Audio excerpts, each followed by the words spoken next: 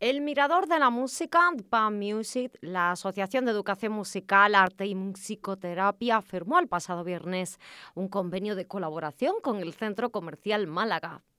Para nosotros significa algo muy importante. Hemos firmado muchos convenios con muchísimas asociaciones, pero este es muy especial, muy especial porque independiente que se pueda hacer negocio, estamos contribuyendo a una obra social muy importante, que son los niños y son personas que tienen problemas y que aquí le están haciendo una labor increíble conformado a través de la Asociación de Músicos y Creativos de Torremolinos, que llevamos en, activo en Torremolinos desde 1993.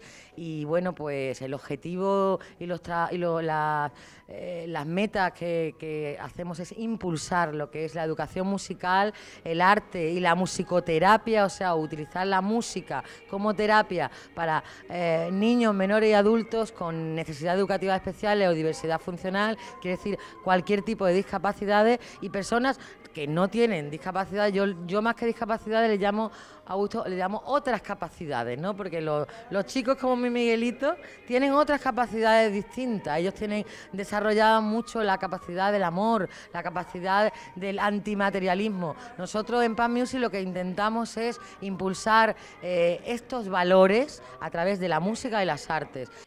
El Mirador Pan Music incluye actividades educativas como estimulación musical, musicoterapia, canto y coaching musical, teatro musical, música en familia o campamentos, entre otras muchas actividades. Una asociación que nació hace siete años y que se encuentra ubicada en el Castillo San Luis, en Plaza de Cantabria, en Torremolinos.